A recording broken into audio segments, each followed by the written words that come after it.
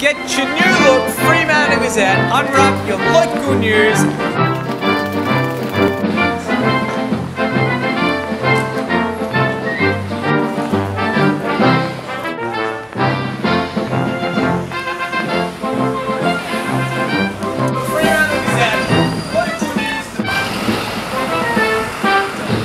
Unwrap your new look Fremantle Gazette.